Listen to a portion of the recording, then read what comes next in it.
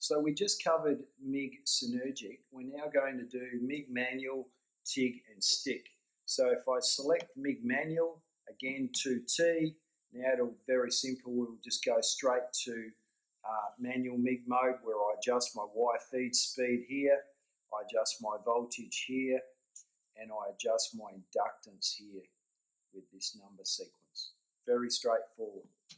If we go to TIG, push the button, it'll now tell me the setup now needs to change. So my torch now for TIG needs to plug into the right side, which is my negative outlet, and my return lead needs to plug into the left side, which is my positive. Connect, it'll now say what diameter of tungsten am I using, 1 16th or 3 32nd. So I'll select 1 16th. Uh, I've got my torch trigger switch, 2T, and now my selection of material thickness. I'll dial that back to, um, to 1 16th. Now, it'll give me my parameters there. Here is my amperage. Once again, there's a red band and a white part on that red band, which is going to give me my window of optimum operation. Over here now in TIG, what this is, is my downslope time. So when I stop welding, how long do I want it to continue to uh, ramp down in, in time? So this is in seconds in time. And the last one here is actually post gas flow. So uh, how long do I want the gas to continue to run to shield that tungsten um, from any contamination? And obviously, the higher the weld current, the hotter the tungsten's going to be, and the longer my gas flow, post flow time should be. Last one, let's go to stick.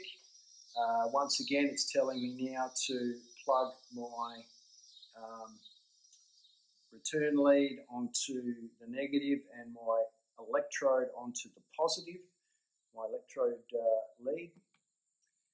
It's asking me what type of electrodes, E60 or E70. So if I'm welding um, 6010s or uh, 6011s or 6014s, 6013s general purpose, I'm here If I'm running low hydrogen, typically 7018 type or 7016 type, I'm selecting here. Now ask me what diameter, so 330 seconds or 1 8 in this case. Let's go 330 second and what material thickness am I welding? I'll dial it up. Remember I'm limiting here because I'm only running on 120 volts, so it's reduced my material thickness. Now, that's put me in uh, 90 amps there um, and, a, and, an arc force level of 4 and a welding amperage output of 90 amps, and away we go. Last one is the help button where I have version of software, I have units, and I have help. Um, if I click on help, it'll give me a website and an email address to contact for any sort of technical support needed. And away we go. So there's the full rundown on a very simple, user-friendly system on a great machine, the PRO-TEC 215 MP.